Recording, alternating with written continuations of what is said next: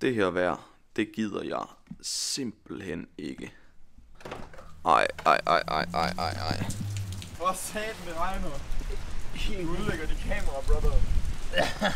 Godmorgen og velkommen til en ny dag, som I måske kan fornemme, så regner det rigtig, rigtig, rigtig meget i dag. Og det er irriterende, fordi at vi kom i går til Solvang, som er den her danske by i USA.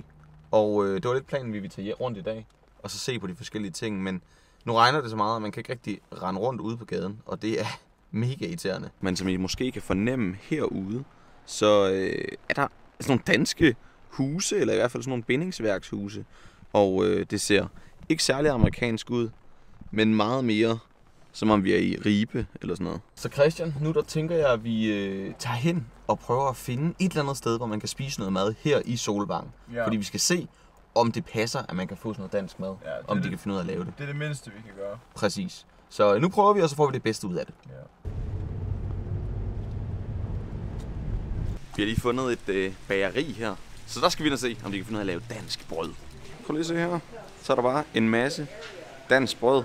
Der er roulader, og der er, jamen, der er alt muligt. Forskellige snegle her, og spandauer, og kringler, og det skal vi da have. Det skal vi have. Så føler vi os helt hjemme. Jeg har bestilt sådan en her. Mm, sådan en horn. Mm. Det er godt. Og en spandauer. Jamen, det smager faktisk ret frodigt. Det smager øh, sådan en croissant, som der er hjemme. Det var godt. Jeg har også bestilt sådan en croissant-lignende ting, og øh, en spandauer, men med ananas i, fordi man kan ikke få med creme i, som jeg plejer at få hjemme i Danmark. Nu prøver vi. Må vi se, hvordan det smager. Mm. Der er ret meget salt i. Mm.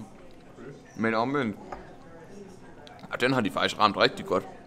Herover kalder de det her slags brød, sådan noget vinerbrød for Danish. Den er faktisk rigtig god. Som jeg sagde før, jeg føler lidt, at jeg er i Ribe, når jeg sidder sådan et sted her. Det ser så vildt ud, og der står Danish Mill Bakery over det hele, og øh, jamen det, er, det er en sjov opfindelse, det her. Du kan se, der står noget om gården den gamle. Det her, Once Upon a Time, Hvad så, brother? Lige nu der er vi kommet ud og, øh, fra bakery. Smagte uh, pretty nice. og nu skal vi simpelthen se, om vi kan finde noget, øh, der ligner lidt mere Danmark end øh, sådan noget old school øh, hollandagtigt noget. det ligner da Danmark, synes Ja, det ved jeg sgu da ikke. Har du nogensinde set nogle bygninger så sådan noget i Danmark, brother? Det er i Ribe. Skulle da ikke sådan her i Ribe, brother. Gør det da. Ingeborgs. Danish Chocolates. Danish Chocolates. Der er i hvert fald et dansk navn, ligesom Ja. Arne og ligesom Andersens Og smørbrød. Det er så Ja. ikke et navn. Vi er kommet udenfor igen. Det regner stadig sindssygt meget, og jeg ødelægger virkelig mit kamera, hvis jeg filmer for meget herude. Men prøv lige at se her. Der er en mini-version af Runde Tårn. Hvordan synes du, det ligner? Det, øh, det ligner faktisk fint nok. Ja, det Men, er øh, det bare er en meget- meget lille version. Jeg kan godt lide, at det er et pizzeria nedenunder sådan. Der er lidt noget, de ikke har helt forstået der. Tower Pizza. Føler du dig hjemme egentlig? Bolle. Det gør jeg på en eller anden måde, så alligevel, så gør jeg faktisk. Jeg synes bare, det er mærkeligt, at vi er i USA, når der ser sådan her ud. Der er lige et vinhus. Det er ret sjovt, det hele står på dansk. Og så er der en mølle.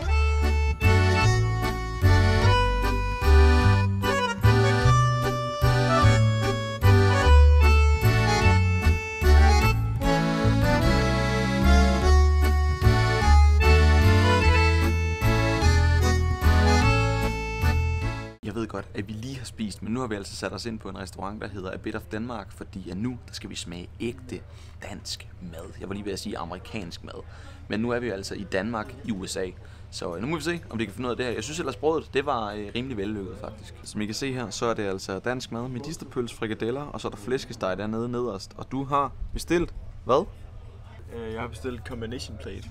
Og Hvor det både er... Du siger det selv. Må jeg så sige det også? Du siger det selv, eller hvad? Okay, brother. Oh, Chris.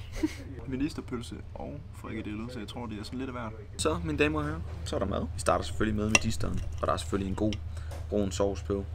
Nu prøver vi. Kan du ikke lide rødkål, brother? Nej, ikke så vild med det. Okay. Mm. Mm. Mm. Mm. Altså oven på sådan en omgang taco skaller der, som vi har levet af de sidste, den sidste uge, så er det her virkelig godt. Og det smager fuldstændig som det skal, i hvert fald med disteren. Jeg ved ikke, hvorfor, men det her gør. Mm. Det minder mig sygt meget om cap. så stege sådan en medister her. Nu prøver vi noget rødløg. Normalt er jeg ikke så vild med det, men måske kan jeg her. minder mig faktisk også sygt meget om Mativ, det her med. Jeg tror rødløgn smager som det skal. Det smager okay, jeg er bare ikke så vild med det. Det gør det. Rødløgn smager, som det skal. Gør den det? Hjælper man rødkål, hedder det. Du skal ikke rødløg. Så havde vi altså rødløg. Har vi siddet og sagt det? Det tror jeg. Vi mener selvfølgelig rød kål. Kartoffelmosen, den smager lidt underligt. Ja. Men altså, det smager godt. Den smager bare ikke som, hvis mor lavede det. Til gengæld så smager medisterpølsen, som hvis mor lavede den. Det er godt. Jeg føler mig hjemme. Hvad siger du til øh, fars dunser? Jamen, øh, fatter, fatters duns, de er fem med gud, du. Det var godt. Jeg synes, at dunsen den er fin. Mm. Jeg synes, det hele smager rigtig godt. Det her det minder mig sygt meget om Caféguiden lige nu. Jeg føler også, at vi er sygt caféguiden. Mm. Skud ud til Kulhal. Vi sætter os ud i bilen igen, fordi nu der skal vi til Los Angeles. Og der skal vi være de sidste dage, hvor vi er i USA. Fordi at vi havde kun lige sådan halvanden dag der sidst. Ja. Så nu tænker vi, at nu skal vi have, nu skal vi sgu have noget for pengene. Det får øh, vi. Håber jeg ret mig, at vi får med det, vi lige har bestilt med. Vi har bestilt en øh, sådan lejlighed, sådan en Airbnb, som vi øh, skal bo i. Lidt ligesom da vi boede der sidst. Men der var et gebyr, som vi ikke, åbenbart ikke havde set. Det kom først efter vi havde bestilt, og vi kan ikke 65 annullere dollars. 65 dollars per nat. ekstra, udover det vi har betalt. Det er fandme mig. Det er ret mange Det penge. er 2.000 cirka i alt, Ja. når vi er sådan, øh, skal vi hjem væk derfra. Og Men det, sådan er det. det er for rengøring, brother. Sådan er det. Nu, der skal vi bare afsted. Det regner. Der er tre timers kørsel. Og det hele skal nok ordne sig. Ja.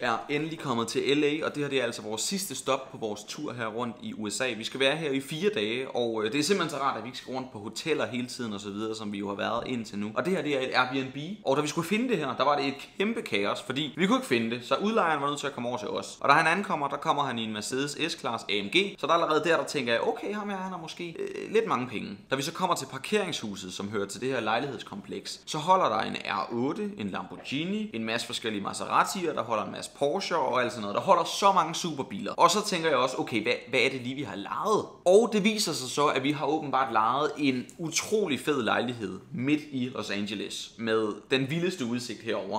Og I skal næsten lige prøve at se det. Når man kommer ind, så ser det simpelthen sådan her ud. Der er et øh, rigtig stort, dejligt køkken her. Så kan vi eventuelt lave noget, lave noget mad, hvis vi har lyst. Og herover der er der øh, en stue. Der er det vildeste vindue med udsigt ud over Los Angeles. Herinde der er der et øh, soveværelse. Og så her. Goddag. Skal du lede lige efter toiletpapir? Vi har kun en rulle. Her der har vi simpelthen et toilet, med, øh, hvor vi kan vaske tøj også, hvis det er det, vi har lyst til. Da vi havde bestilt den her lejlighed, der fik vi en mail om, at vi også skulle betale et rengøringsgebyr på omkring 2.000 kroner. Og det synes vi var sådan lidt voldsomt. Men da vi så tjekkede ind, så sagde ejeren her, at det skulle han selvfølgelig nok tage sig af. Så det slap vi også for. Så det er en mand med mange penge, vi har lejet en øh, lejlighed af, og den er så fed. Og det er helt klart et tip, hvis I er ude at rejse. Prøv lige at tjekke Airbnb, fordi ofte så er det meget billigere end hoteller, og man får meget mere for pengene. Og så glæder jeg mig altså bare til at se den her udsigt i morgen i dagslys. Fordi det er for fedt. Midt i Los Angeles. Og det ser simpelthen sådan her ud. Det er blevet næste dag. Det er desværre lidt overskyet igen i dag. Men som I kan se hernede, så er der en pool. Der sidder faktisk en mand i det der spa. Og øh, så er vi altså downtown. I kan se alle de flotte bygninger lige herovre. God morgen. I dag der er det faktisk et par dage siden, at vi har vlogget sidst. Fordi vi lige har haft brug for ikke lige at skulle optage sådan noget. Fordi når man er ude at rejse, så er der rigtig mange indtryk og sådan noget. Så vi har ikke lige vlogget de sidste par dage, der har vi egentlig bare nyt at være herovre. Men i dag, i dag skal vi hen til Santa Monica, som er en strand, hvor der er sådan en forlystelsespark. Og det er et virkelig ikonisk sted fra GTA. Så hvis nogen af jer har spillet det, så har I 100% også set Santa Monica i spillet, hvis man kan sige det på den måde. Jeg synes bare, at vi skal komme i gang, så øh, det er sgu blevet en ny dag.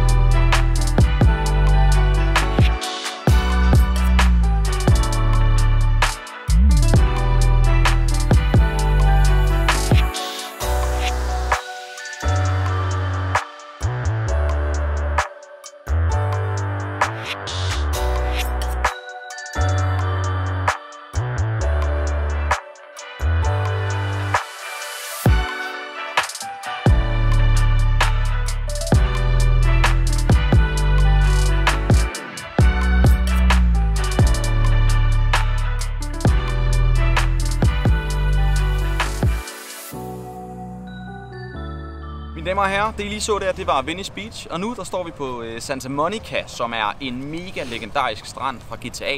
Så hvis nogen af jer har spillet GTA, har I sikkert set den her forlystelsespark, der er lige bag mig. Det er, øh, det er ret sjovt at se i virkeligheden. Sidst jeg var i USA, der så jeg det ikke. Jeg så godt nok Venice Beach, men øh, nu er vi altså på Santa Monica. Jeg vil sige tusind tak for, at I så med i alle de her forskellige vlogs, jeg har lavet fra USA. Jeg håber, I synes, det var fedt.